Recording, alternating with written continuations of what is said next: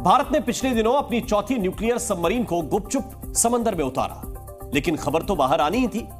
और जब यह खबर पाकिस्तान पहुँची तो उसके पैर कांपने लगे। पाकिस्तान के पुराने नेवल ऑफिसर अब सोशल मीडिया में यह मानने से भी गुरेज नहीं कर रहे कि भारत के आगे पाकिस्तान कुछ भी नहीं है। और भारत की नेवी पाकिस्तान की नेवी से कई गुना ताकतवर है। समंदर में बढ़ी भारत की ताकत तो पाकिस्तान में हाय तौबा शुरू हो गई। जल, थल, नभ में भारतीय सेना के बढ़ते पराक्रम ने पाकिस्तान को शर्मिंदा होने पर मजबूर कर दिया। भारत की परमाणु पनडुब्बी आईएनएस चक्र आईएनएस अरिहंत आईएनएस अरिघात और अब आईएनएस अरिदमन। समंदर में भारतीय नौसेना की ये वो छोटी सी ताकत है जिसने पड़ोसी मुल्क पाकिस्तान के होश फाख्ता कर दिए। हालात ये हैं कि अब भारतीय नौसेना की ताकत पर पाकिस्तान के पूर्व नौसैनिकों को सांप सूंघ गया है। वो क्या बताएँ और क्या छिपाएँ, उन्हें खुद समझ नहीं आ रहा।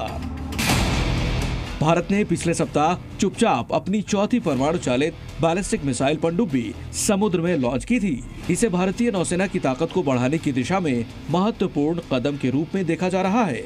16 अक्टूबर को लॉन्च की गई परमाणु सबमरीन का कोड नाम एस फोर है। एस फोर क्लास की ये सबमरीन कई मायनों में खास है। इस पनडुब्बी के 75 फ़ीसद सामान भारत में ही बने हैं। इसका कोड नेम एस फोर रखा गया है। ये पैंतीस सौ किलोमीटर की मारक क्षमता वाली न्यूक्लियर बैलिस्टिक मिसाइल से लैस है। के फोर परमाणु बैलिस्टिक मिसाइल दुश्मन को तबाह करने में सक्षम है। भारतीय नौसेना की इस ताकत के सामने आने के बाद पाक नेवल ऑफिसर भी मान रहे हैं कि अगर तुलना करें तो इंडियन नेवी पाकिस्तान की नौसेना से पाँच गुनी बड़ी है। साथ ही पाकिस्तानी नेवल ऑफिसर का ये भी कहना है कि इतनी बड़ी नौसेना रखने की भारत को ज़रूरत नहीं है। उन्होंने कहा कि भारत अपने आप को दुनिया में महाशक्ति साबित करना चाह रहा है। इसलिए सेना के आधुनिकीकरण पर अंधाधुंध पैसा खर्च कर रहा है। वो लगातार अपनी नेवी को बढ़ा रहे हैं और इतनी ज़्यादा बढ़ा ली है, जिसकी ज़रूरत नहीं है.